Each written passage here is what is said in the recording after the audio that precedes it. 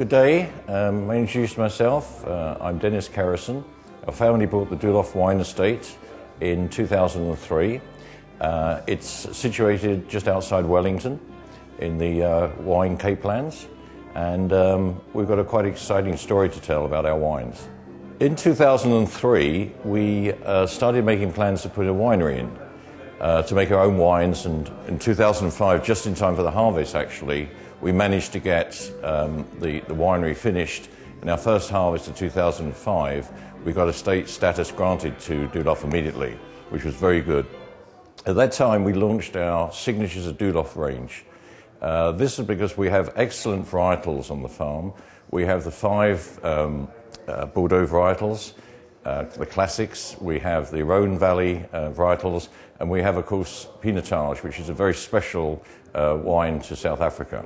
The farm itself is about 40 hectares under vine um, at the present time. 80% are red grapes and red wine, and the other 20, of course, is white.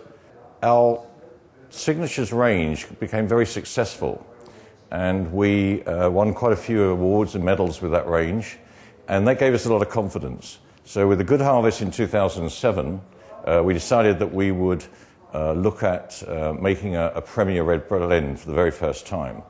Doolhof itself means labyrinth, and it's called Doolhof uh, 300 years ago because people trying to come into the hinterland, the first settlers, got lost and couldn't find their way through and had to basically turn back and go back towards Cape Town.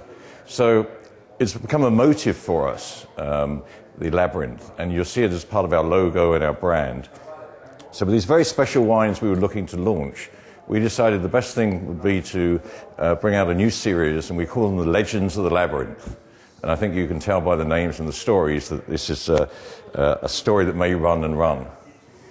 Anyway, um, in 2007, with a fine harvest, uh, we decided to look at this having a Cape blend. And a Cape blend means it's not a Bordeaux type or a Rhone type. It specifically has grapes in like Pinotage, which, which mean it can be labeled as a Cape blend.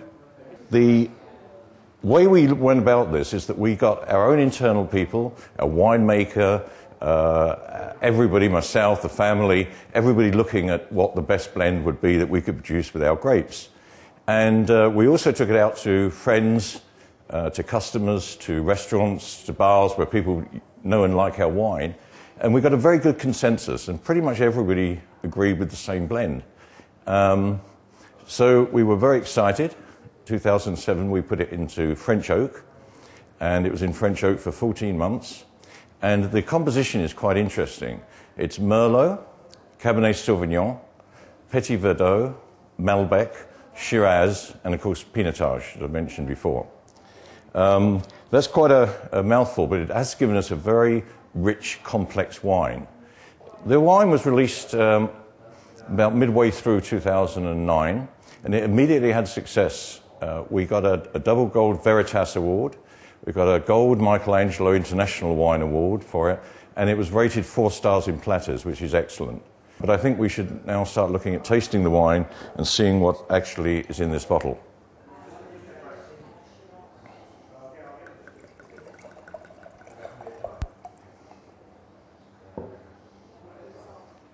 You'll see, first of all, there's a very rich, deep plum colour in the wine. Very, very rich. On the nose, there's mixed red and black fruits, certainly blackcurrant, black cherries, even.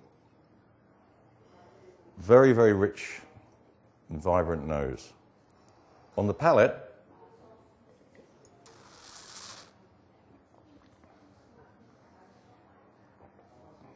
mm, again the red fruit black fruit mixed, and also a touch of mint and perhaps even almonds in an aftertaste, and very, very good length and finish in the complexion, which makes the wine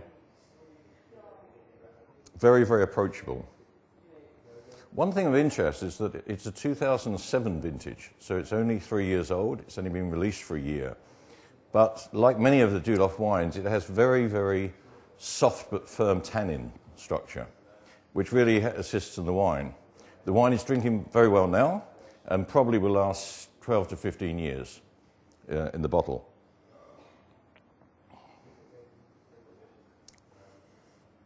In terms of being a very nice glass of red wine, one of the key things I think is to consider it with, with food, food pairing. And this wine lends itself to almost most meat dishes, but particularly good for steak, uh, lamb dishes, um, game, when things with uh, uh, rich sauces, it would do very well.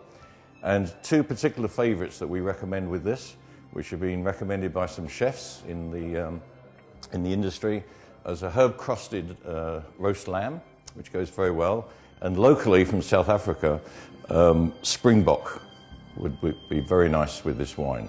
So hopefully this has given you a little insight into what we do at Doolhof Wine Estate and um, what we've done with the Minotaur, the first of our Legends of the Labyrinth. And we're sure you'll have many happy hours with friends and family enjoying it. So cheers from Doolhof Wine Estate.